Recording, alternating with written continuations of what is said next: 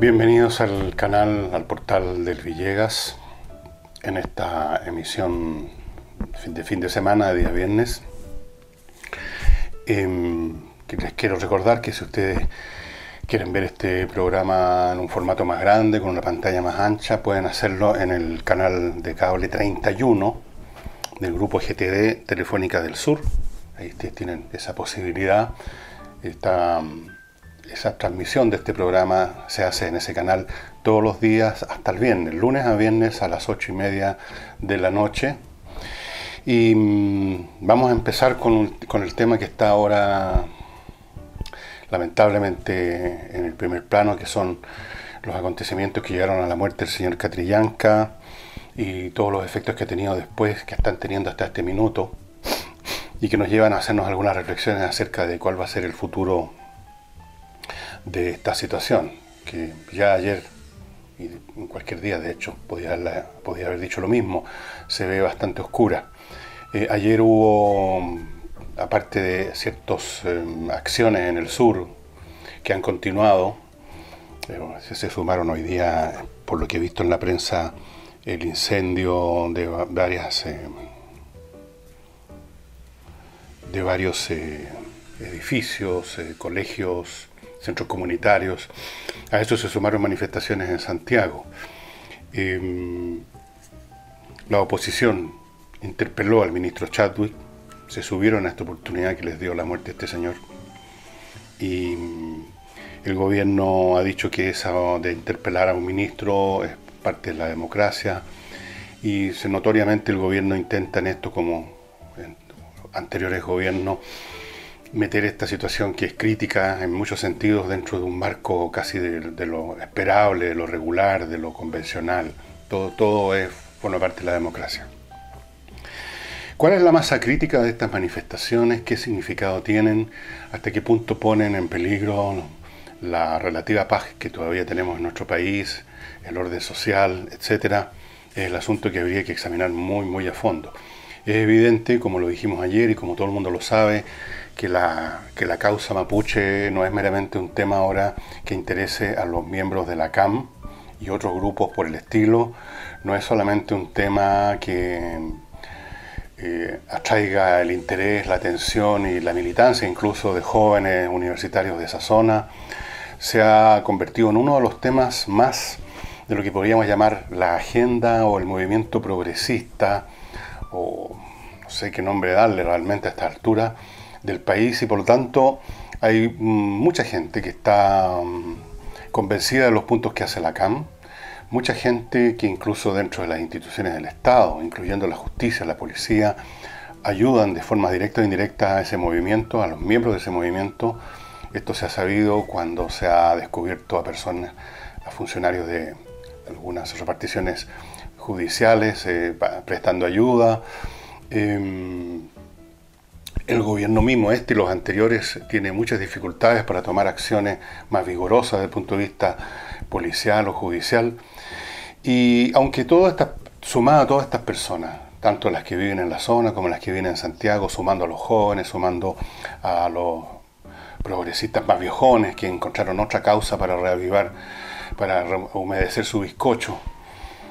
Em, ciertamente son una minoría. Son una minoría. Pero este tema ya lo hemos discutido acá, lo hemos hablado muchas veces, en el sentido que el poder de un grupo que tiene una determinada idea, que tiene una determinada agenda, no se mide simplemente por la cantidad de personas que militan o que son parte de ese movimiento. Más allá de cierto umbral absoluto, por supuesto un grupo de 10 personas no, no llega a ninguna parte, pero más allá de cierto nivel cuantitativo, esa minoría en la medida en que está organizada o al menos tiene en común precisamente esa agenda, esas ideas. Constituyen una agencia, de, un agente social mucho más poderoso que una mayoría que puede ser 10 veces más grande, pero que está constituida simplemente por individuos que no están congregados prácticamente por nada en común, que no son capaces de una acción conjunta Eso es lo decisivo en una sociedad. El poder resulta de la acción cooperativa entre un grupo de cierto volumen de gente, no resulta de una suma de individuos. Las únicas instancias en que una suma de individuos, una simple suma de individuos tiene efecto en la marcha de la sociedad en los eventos electorales. Pero los eventos electorales son, ocurren cada cierto tiempo y por consiguiente no, están presentes todo el tiempo como, que se, como se requiere para que mm, un movimiento, una idea, una agenda eh, tenga efecto en la sociedad. No basta ir a votar cada cuatro años, cada seis años. Y por lo tanto estas minorías tienen esa ventaja, que están, que, en primer lugar, que están organizados, aunque sea alrededor de compartir las mismas ideas. Segundo, hay en ellos una mayor eh, disposición a tomar acción, precisamente porque son partícipes de algo positivo, de algo concreto. la, la, mayoría que no está con una postura, está en una postura negativa simplemente. No estoy ahí, pero ¿dónde estoy? ¿Dónde estoy que sea el mismo territorio que ocupa el vecino? Es muy diferente. Entonces, la cuestión es, ¿cuánta capacidad de acción o de interferencia en los asuntos de la sociedad puede ejercer esta suma, este, este agregado de personas que comparten la visión de la CAM, que la comparten en un grado mayor o menor. Hay muchas personas, por supuesto, que comparten la narrativa de la CAM sin que eso significa que, signifique que muevan un dedo. Pero aún esa pasividad, siempre que esté asociada a una causa que es positiva en el sentido que es un hecho que existe, tiene mucho más efecto que la pasividad del individuo que simplemente no participa. No participa en eso, pero tampoco participa en nada más. Entonces, en esta materia, por lo menos en esta materia, el tema mapuche, este gobierno y los anteriores gobiernos, en otras palabras, el Estado como tal, ha mostrado una completa impotencia ha mostrado una absoluta incapacidad de, tomar decisiones, de tomar un curso de acción definido. Ayer hablábamos que habían tres posibilidades. Una era, y la descartamos porque es totalmente inviable y nadie la quiere, una acción policial vigorosa que desarticula el grupo con todo lo que eso significa. Esa, esa opción podemos darla por descartada. La otra opción es simplemente negociar de frentón y, definitivamente algún grado de autonomía en alguna región del sur. Y la tercera opción, que es la peor de todas, es simplemente dejar las cosas como están arrastrándose para que cada, cierto tiempo se produzcan incidentes como los que ocurrieron esta semana precisamente. Que haya una persona que muere por acá, un carabinero o un comunero o un espectador, eh, que se quemen más eh, establecimientos o más camiones, o que se agreda más personas. Ese curso es el que hemos seguido, no porque lo hayamos escogido conscientemente, porque aquí, como les digo, no ha habido ninguna decisión, ni siquiera ha habido la decisión de no tomar ninguna decisión. Simplemente las cosas se han ido arrastrando de esa forma. desde luego, los acontecimientos de ayer, dicho sea de paso, los acontecimientos que están ocurriendo hoy día, la reacción de los grupos mapuche en eh, la Araucanía, en Biobío y en Santiago demuestran claramente, si es que acaso alguien tenía alguna duda, de que lo de lo que se inició como un robo de un vehículo no era un delito común, era parte de otra cosa. Eso yo creo que está bastante claro. Em, digo entonces que el Estado ha sido eh, y es incapaz de restablecer alguna situación eh, plausible en esta materia en esta zona del país. Y según me dicen las, muchas personas que me mandan mail, eh, este asunto ha ido creciendo en cuanto a su expansión territorial. Ya no está localizado en unas cuantas comunas de la Araucanía, sino que ha ido avanzando. Y creo que los hechos de ayer en Santiago demuestran que han avanzado a todo el país. Por lo menos han llegado a Santiago. Hay grupos, probablemente gente joven, universitaria, que están en todas las causas que han participado en estos eventos.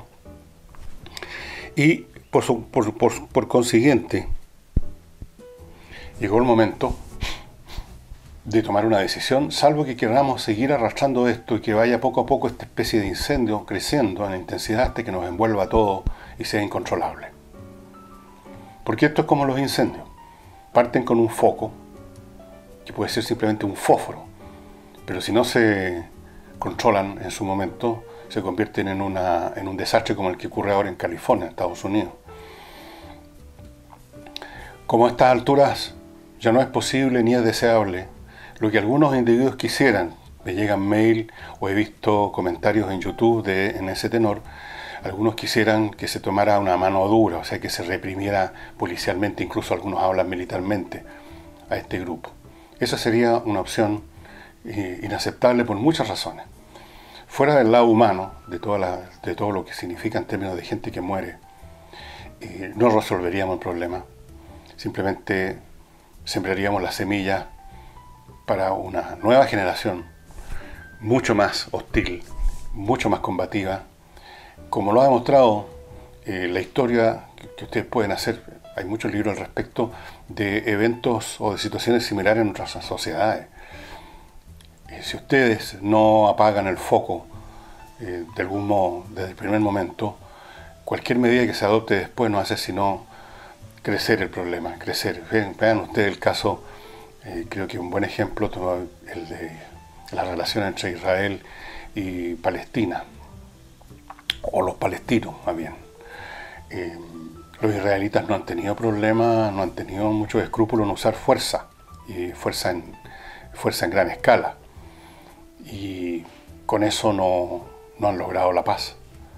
No se ha logrado la paz porque es muy difícil eh, cuando una causa se convierte en algo aceptado eh, por un pueblo completo, por una cantidad grande de gente, salvo que usted esté dispuesto a una especie de aniquilación total, cosa que es inviable, es imposible, inconcebible, usted no va a hacer otra cosa que intentar apagar el fuego con benzina.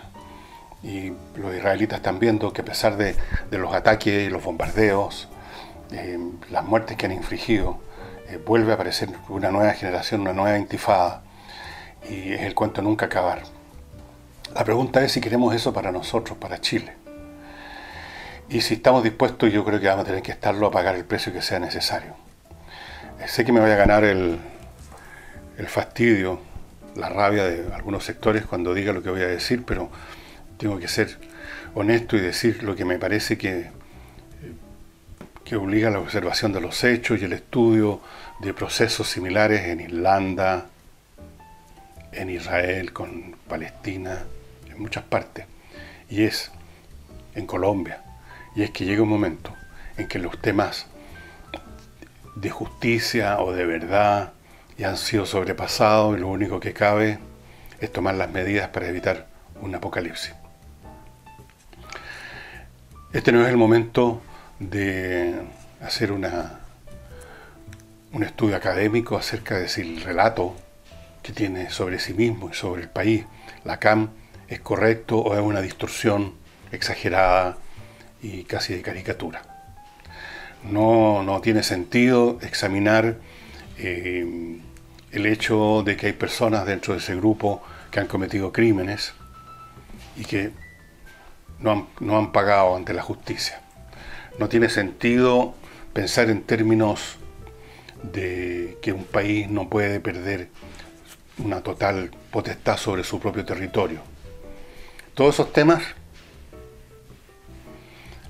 han sido o están siendo, creo yo, creo, sobrepasados por la situación. Aquí no se trata entonces de lo que a uno le gusta o a uno lo que le parece justo, lo que le parece conveniente, sino que, lo que de lo que se trata es ver lo que es necesario. Y vamos a ver qué es lo que es necesario a mi juicio, pero antes de eso les quiero recordar la existencia de esta tienda que opera en el mall Los Dominicos, que se llama Eternal Love. ¿Cómo dice? Love, love. Alguien ayer me retó porque decía love en vez de love. Bueno, Eternal Love. Y quiero hacer hincapié ahora en el tema de las argollas matrimoniales.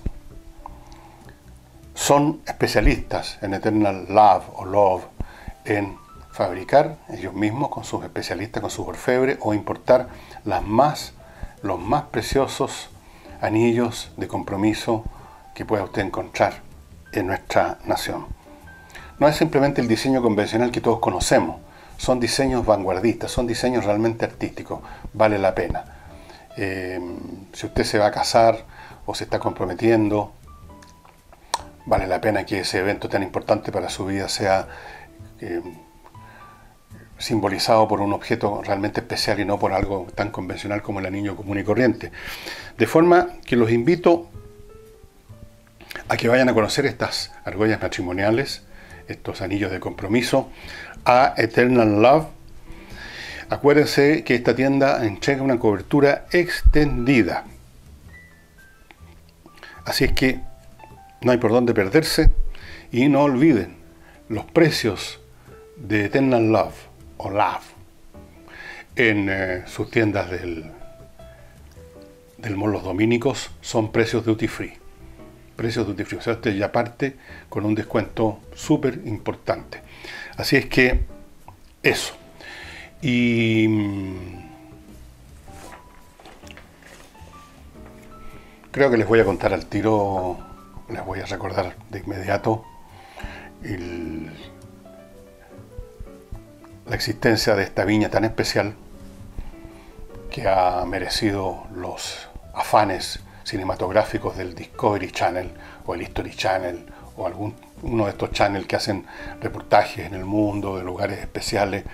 Y me refiero a la viña, al vino personalizado, que entre otras cosas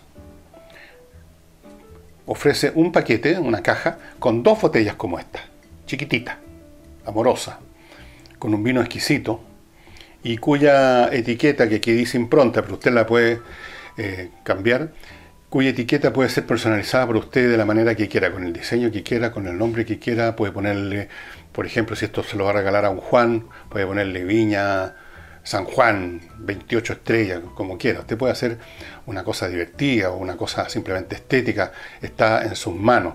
La caja trae dos de estas botellitas, el vino para que les cuento. Me han tenido que traer otro cargamento porque ya me estaba tomando todas las botellas que les mostraba a ustedes. Y además, la caja viene con esto. Este es un manual con dibujos y todo, o sea que queda súper claro de cómo, incluso con una parcela chiquitita, que a lo mejor usted tiene un par de viñedos nada más, eh, hacer su propio vino. Si uno puede hacer la cantidad de vino que quiera, a lo mejor le alcanza solamente por una botella, pero es su vino. Y aquí está todo el proceso desde la desde cómo se cuidan los viñedos, cómo se plantan, cómo se cosechan, todo el proceso, el riego.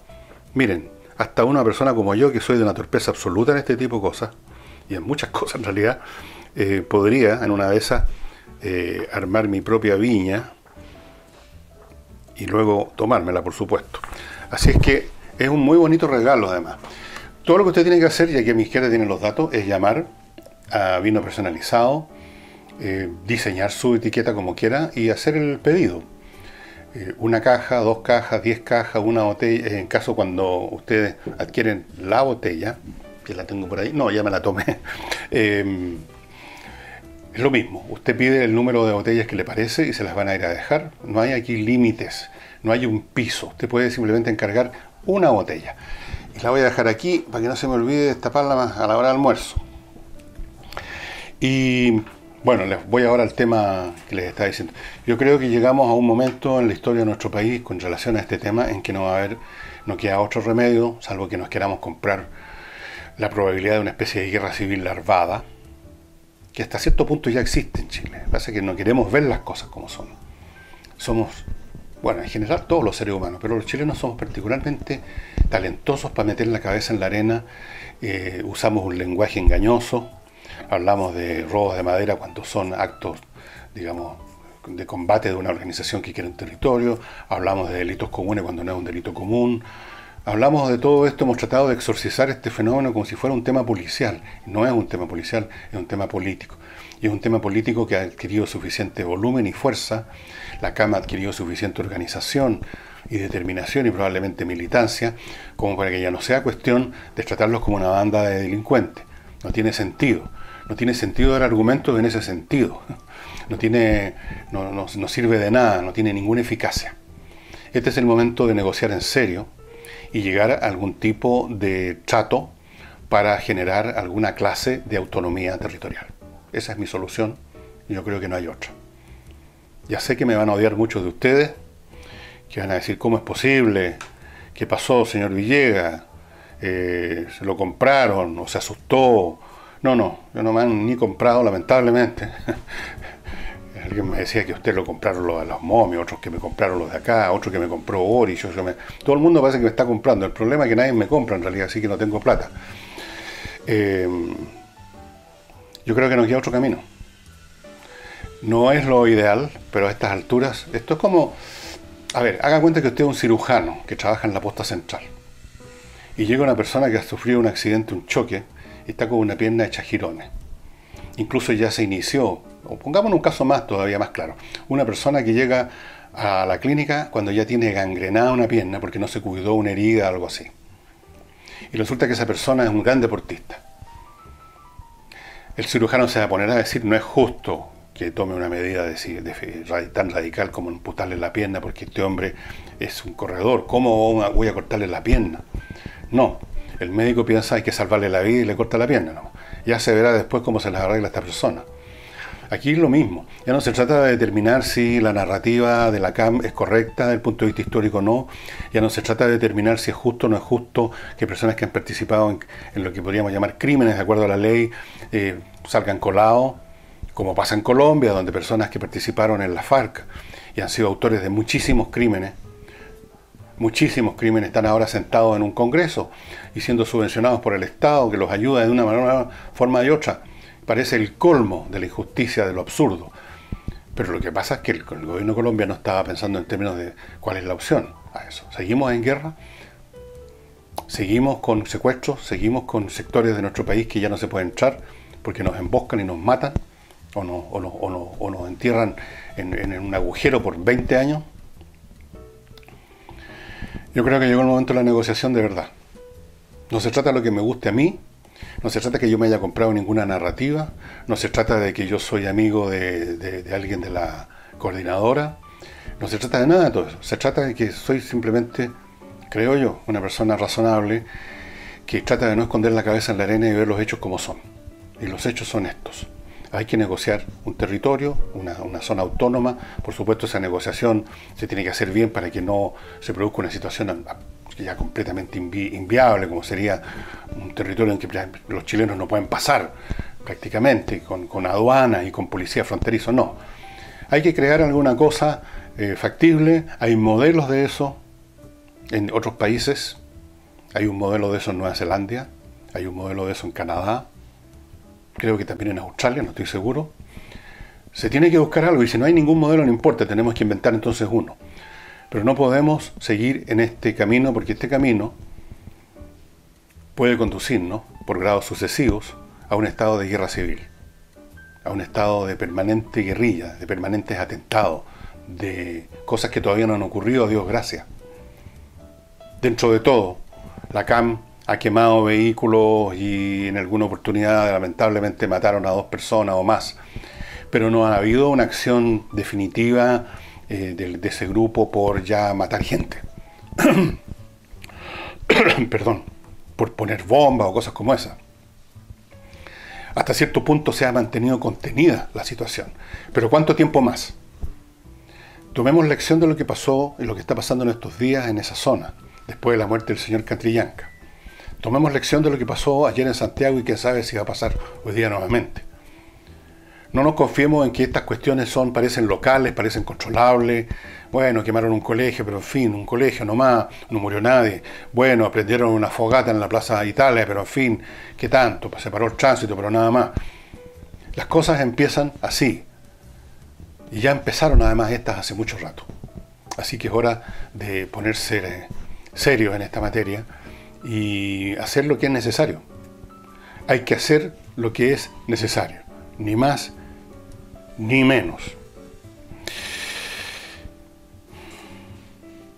Pasemos a otro tema ahora, un tema internacional que es bastante interesante porque señala hasta qué punto los parámetros de funcionamiento de las sociedades comunistas siguen siendo los mismos. O si ustedes quieren, si no quieren usar la palabra comunista, de las sociedades eh, donde existe monopolio del poder por parte de un grupo, de una oligarquía política. En China el Partido Comunista, en la Alemania nazi era el Partido Nazi, allá donde hay un régimen autoritario, donde todo el poder está concentrado en las manos de un grupo y dentro de ese grupo en las manos de un líder, como ocurre en China ahora, ocurren cosas como las que han estado denunciando hace rato, eh, que ocurre en China, y es que una zona completa de China, una provincia que se llama Bigur o algo así, Yugur, bueno, da lo mismo el nombre, donde viven muchos musulmanes, personas que por algún motivo histórico de la expansión del Islam, esa zona se convirtió en una, parte de China donde hay muchos musulmanes y además son de otra etnia. Hay 60 etnias distintas en China, dicho a la pasada. El gobierno chino está tomando acciones que recuerdan los campos de concentración de la Alemania nazi o los campos de concentración y reeducación, como lo llamaban, de la Rusia comunista. Hay aproximadamente un millón de personas en esa zona que han sido, que han pasado en un momento u otro por escuelas de reeducación, que no son simplemente, no se imaginan ustedes, una escuela donde a las 9 de la mañana los alumnos se sienten en unos banquitos y viene un profesor a latearlos con, la teoría marxista. Eso, eso ya sería malo, esto es mucho peor. El, lavado cerebro consiste en condicionar a las personas. Y el condicionamiento es un poco como el que se pinta en esa novela de Orwell 1984, cuando el comisario frente al tipo disidente le dice, ¿cuántos dedos hay aquí? Tres. Le da una cachetada. ¿Cuántos dedos hay aquí? Tres. No, son dos. Y así, porque la verdad ya no es lo que uno observa, sino que es lo que determina el poder. Entonces el proceso de lavado cerebro es mucho más frenético, mucho más atroz que simplemente una clase de teoría marxista. Y a raíz de eso, 13 embajadores occidentales en China le mandaron una carta a, un alto, a una alta autoridad del Partido Comunista Chino para que se juntaran a conversar qué es lo que está pasando en esa provincia y el gobierno chino reaccionó, esto fue ayer, de la manera más furibunda, eh, incluso mencionando organizaciones o tratados internacionales que impiden o que no hacen eh, plausible que una embajada, que poderes extranjeros se metan, interfieran en la vida interna de un país. Así es que esa es China podrá ser una potencia militar en este momento, podrá ser el lugar donde se fabrica todo, incluyendo este computador, incluyéndolo todo lo que me rodea probablemente, pero sigue siendo una tiranía. Los trabajadores chinos, los que hacen este computador y los que hacen cualquiera de las cosas que usted compra, tienen unos salarios imposibles, o sea, inconcebibles, como que aquí se pagara digamos, un sueldo diario de 1.500 pesos, una cosa así. Han habido accidentes atroces en que ha muerto quemada todos los trabajadores de una planta porque los dejan encerrados con candado. O sea, es un campo de concentración. Mayor o en mayor o menor grado China es un campo de concentración en que sus internados se dedican a fabricar cosas para enriquecer al país, o sea, enriquecer a la casta gobernante, en definitiva, y militarizar al país y darle los medios, los recursos económicos para la expansión geográfica que está empezando a tener China, que está abriendo los ojos en todas partes. Esa es China. Estos regímenes son estos regímenes tiránicos, estos regímenes donde no hay soberanía popular realmente, sino que hay alguien que se arroga la soberanía popular, aquí donde hay un partido que dice representar al pueblo y que lo menciona a cada momento. De hecho, China se llama República Popular China. Todas estas repúblicas donde imperaba o impera una tiranía, se arrogan la condición de populares, lo cual es una mentira grotesca. Y una última noticia, una buena noticia finalmente, estos jóvenes chilenos que estaban en Malasia encarcelados ya hace como casi dos años, o un año y medio más o menos, em, por el supuesto asesinato de un, de un ciudadano de Malasia, que los estuvo fastidiando y hubo un enfrentamiento físico menor, pero el tipo que estaba drogado hasta de, pie a cabeza murió, entonces se los estaba eh, acusando, culpando de crimen y lo iban a colgar. Pero afortunadamente se pusieron en manos de dos muy buenas abogadas, madre e hija, y después de que estas abogadas con mucha frialdad y precisión demostraron que todas las pruebas que presentó la Fiscalía no tenían fundamento, eh, estos chilenos fueron condenados a dos años, de los cuales ya cumplieron una buena parte y como además a los dos tercios de la condena, si ha habido buena conducta, los pueden liberar. El hecho es que bien podría ser que el próximo mes estos chilenos, estos jóvenes chilenos salgan libres y puedan volver a su país.